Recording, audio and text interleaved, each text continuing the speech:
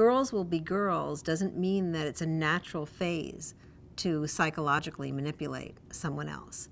It means that rather there's something going on in a power dynamic that hopefully you can counsel your daughter to step aside because you, the last thing a young girl wants to do or needs to do for her self-esteem or her emotional well-being is to be caught in a dynamic where she feels that there's something happening but she's being told there's nothing happening was one of the movies that was based on one of the books about girl bullying where um, she approaches the bully and the mean girl i think it was odd girl out and she said you know I have you haven't been sitting with me in the last few days at the cafeteria and are you are you upset with me? And the girl rather than answering her question says, oh, God, you're so sensitive. So we call that gaslighting.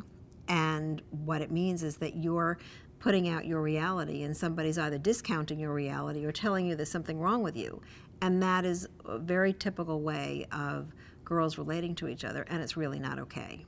And as the parent, when you see that happening, it's important for you to let your daughter know that she should trust her own feelings. And if it doesn't feel right, it, it being the relationship, she shouldn't be there.